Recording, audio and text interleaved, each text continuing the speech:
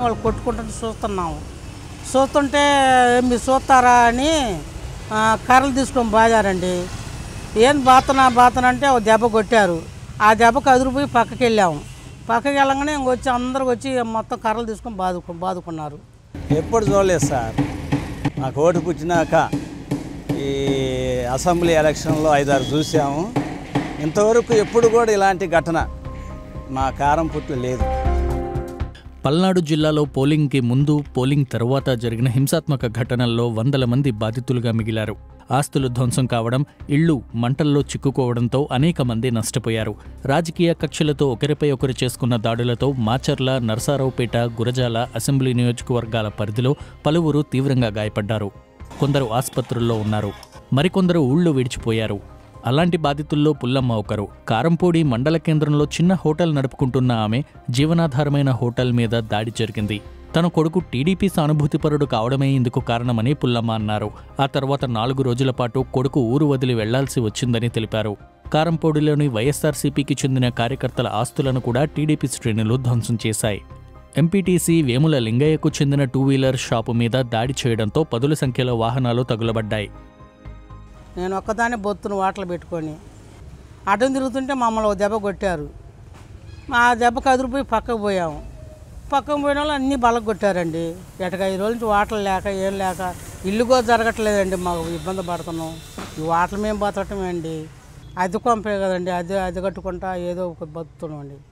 అది పెట్టుకుంటేనే మాకు అన్నం. ఎటగా ఈ రోజు నుంచి పత్తులు ఉండి ఏం లేదు దిక్కు ముక్కు లేకుండా రోడ్డు మేము బడి ఉన్నామండి ఎన్ని బళ్ళకు కొట్టారుగా? పల్నాడులో దాడులు ప్రతిదాడులు కొత్తేం కాదు. రెండు దశాబ్దాల కిందట అవి తీవ్ర స్థాయిలో కనిపించేవి. అప్పట్లో దుర్గిలో జరిగిన హత్యాకాండ మాజీ మంత్రి కోడెల శివప్రసాద్ ఇంట్లో బాంబు పెళ్ళుళ్ళు ప్రతిపక్ష నేత వైఎస్ ర్యాలీపై బాంబులతో దాడి వంటి ఘటనలు సంచలనం రేపాయి. కొద్ది కాలం సద్దుమణిగినట్టు కనిపించిన ఇలాంటి ఘటనలు రెండు వేల పంతొమ్మిది అసెంబ్లీ ఎన్నికల సమయంలో కోడెలపై పోలింగ్ స్టేషన్ వద్దనే జరిగిన దాడితో మళ్ళీ కనిపించాయి. రెండు వేల ఇరవై ఒకటి మున్సిపల్ ఎన్నికల నాడు టీడీపీ నాయకులు బోండావుమ బుద్దా వెంకన్న వంటి వారిపై మాచర్ల పట్టణంలోనే కర్రలతో దాడి చేసిన ఘటనలతో ఈ ఘర్షణలు తీవ్ర స్థాయికి చేరినట్టు కనిపించాయి.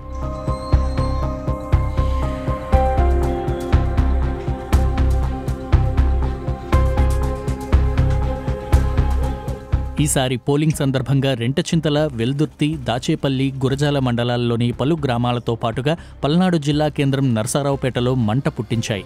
దాడులు ప్రతిదాడులతో హింసాత్మక చర్యలు భారీ స్థాయిలో జరిగాయి. చివరకు కేంద్ర బలగాలు రంగంలో దిగి మూడు రోజుల పాటు కృషి చేసిన తరువాత పరిస్థితి కొద్దిగా సద్దుమణిగింది. ఇప్పటికే పల్నాడు జిల్లాలో రెండు నెలల వ్యవధిలో ముగ్గురు ఎస్పీలను మార్చినా ఈ స్థాయిలో అల్లర్లు చెలరేగడం ఆందోళన కలిగిస్తోంది.